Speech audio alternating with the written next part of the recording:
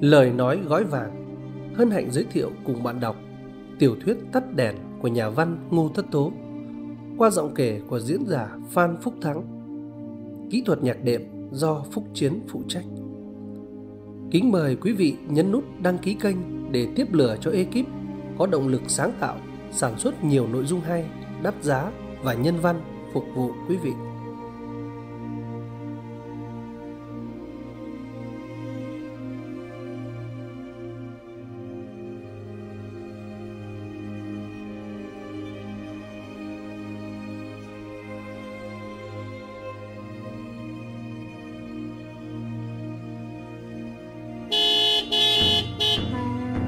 Về phía đầu làng Nghe có tiếng còi ô tô toe toe Rồi đến tù và Tu tu đổ hồi Rồi đến chống cái thông thả liền từng tiếng một Bà lão láng giềng lật đật chạy sang Hớt hơ hớt hải nói với chị dậu Thế nhà bác đã chạy đủ siêu chưa? Chị dậu vậm vội Thưa cụ, nhà cháu mới nộp một suất ạ, còn một suất nữa ạ. Ồ, thế sao lại đóng hai suất? Thưa cụ, một suất thầy con cháu, một suất của chú Hợi ạ. Ơ, anh Hợi chết rồi, còn phải đóng siêu nữa à?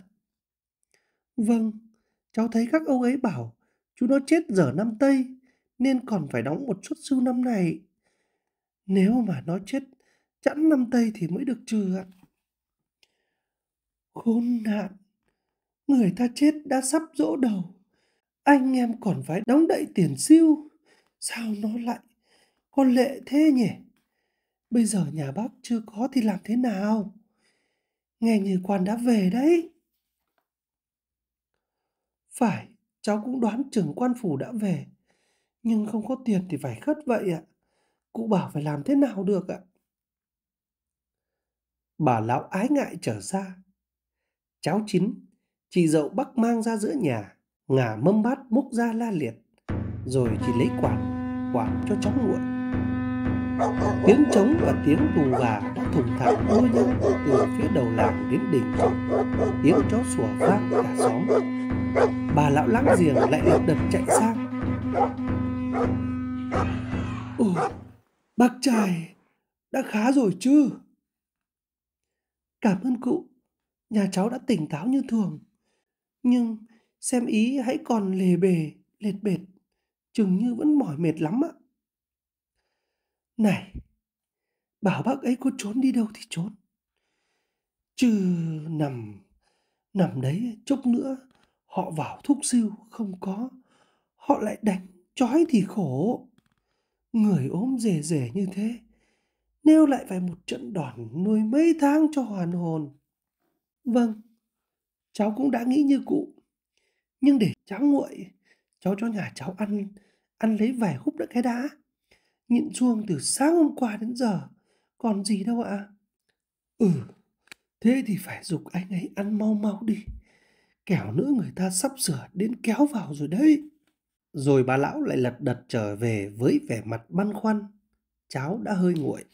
Thăng dân vụt đầu vừa thổi vừa húp soàn soạt.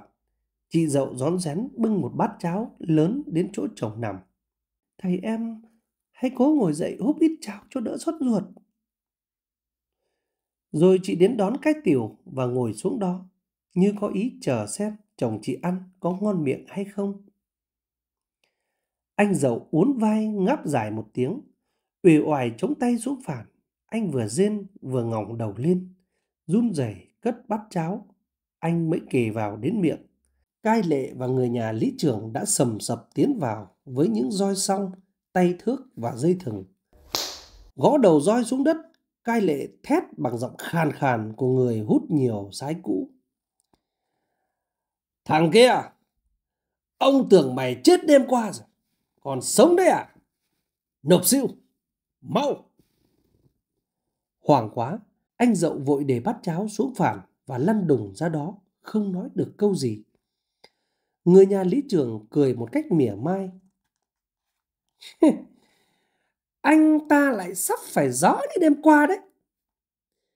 Rồi hắn chỉ tay vào mặt chị dậu. chị khất tiền siêu đến chiều mai có phải không? Đấy, chị hãy nói với ông Cải, để ông ấy gia đình kêu với quan cho. Chứ ông Lý tôi thì không có quyền dám cho chị khất một giờ nào nữa. Chị dậu run run. Nhà, nhà cháu đã túng, lại phải đóng cả xuất sư của chú nó nữa, nên mới lôi thôi như thế. Chứ ừ, cháu nào dám ừ, bỏ bê tiền siêu của nhà nước đâu ạ. Hai ông làm phúc nói với ông Lý, hãy cho cháu khất ạ. Cai lệ không để cho chị nói hết câu, trợn ngược hai mắt. Hắn quát. Mày định nói cho cha mày nghe đấy à? Siêu của nhà nước mà mày dám mở mồm xin khất đấy à? Chị dậu vẫn cố thiết tha. Khốn nạn, nhà cháu đã không có. Dẫu ông chửi mắng cũng đến thế thôi. Xin ông trông lại. Cai lệ vẫn giọng hầm hè. Nếu không có tiền nộp siêu cho ông bây giờ thì ông sẽ dỡ cả nhà mày đi. Chửi mắng mà thôi à. Rồi hắn quay ra bảo với người nhà lý trưởng. Không hơi đâu mà nói với nó. Chói cổ thằng chồng nó lại. Điệu gia đình kia. Người nhà lý trưởng hình như không dám hành hạ một người ốm nặng. Sợ hoặc xảy ra sự gì. Hắn cứ lóng ngóng ngơ ngác. Muốn nói mà không dám nói. Đùng đùng, cai lệ giật phát cái thừng trong tay anh này và chạy sầm sập đến chỗ anh dậu. Chị dậu sám mặt, vội vàng đặt con bé xuống đất, chạy đến đỡ lấy tay hắn. Cháu, cháu van ông, nhà cháu vừa mới tỉnh được một lúc, ông tha cho ạ. Tha này, tha này, tha này. Hắn vừa nói vừa bịch luôn vào ngực chị dậu mấy bịch, rồi sấn đến để trói anh dậu. Hình như tức quá không thể chịu được, chị dậu liều mạng cự lại. Chồng tôi đau ốm, ông không được phép hành hạ. Cai lệ tát vào mặt chị một cái đánh bốp, rồi hắn cứ nhảy vào cạnh anh dậu. Chị dậu nghiến hai hàm răng. Mày trói đi cho bà đi, bà cho mày xem. Rồi chị túm lấy cổ hắn, ấn rúi ra cửa. Sức lèo khèo của anh chàng nghiện chạy không kịp với sức xô đẩy của người đàn bà lực điền. Hắn ngã chỏng quèo trên mặt đất, miệng hắn nham nhảm thét trói vợ chồng kẻ thiếu siêu. Người nhà lý trường sấn cổ bước đến giơ gậy trực đánh chị dậu. Nhanh như cắt, chị dậu nắm ngay được gậy của hắn. Hai người giằng co nhau, đu đẩy nhau, rồi ai nấy đều buông gậy ra, áp vào mặt nhau. Hai đứa trẻ con kêu khóc om sòm. Kết cục anh chàng hầu cận ông Lý yếu hơn chị chàng con mọn. Hắn bị chị này túm tóc, lẳng cho mấy cái, ngã nhào ra thềm.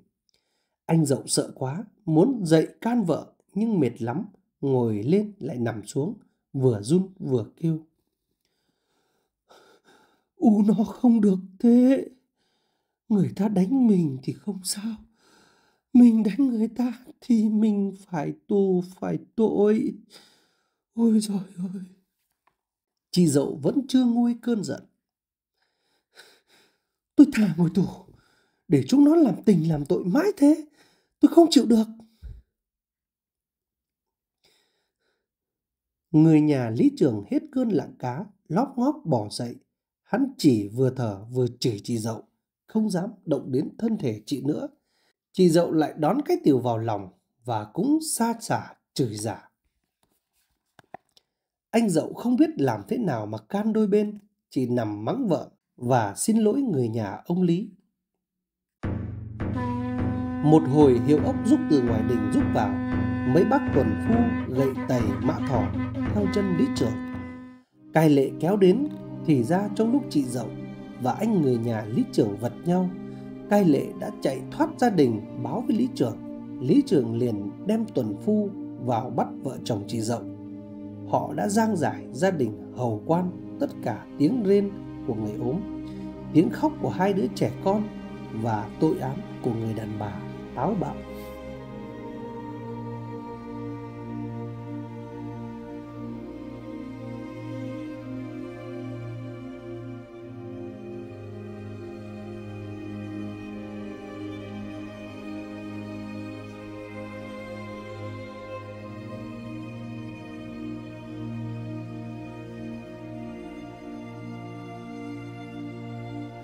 Cảm ơn quý độc giả đã lắng nghe. Kính mời quý vị đăng ký kênh để theo dõi những tình tiết gây cấn, hấp dẫn ở chương tiếp theo của tiểu thuyết Tắt đèn.